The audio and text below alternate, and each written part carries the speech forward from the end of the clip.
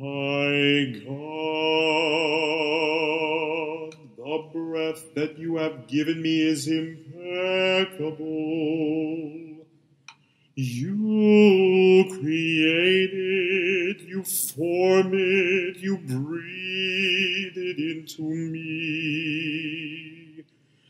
And you keep me breathing until at some time you will take it away from me.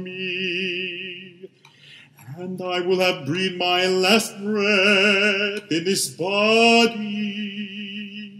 And you will resuscitate me to the life of the Spirit. For each breath still in me, I thank you, my own God, who is also my parents' God, master of all that happens. I offer you thanks and worship you for keeping me breathing. And with each breath,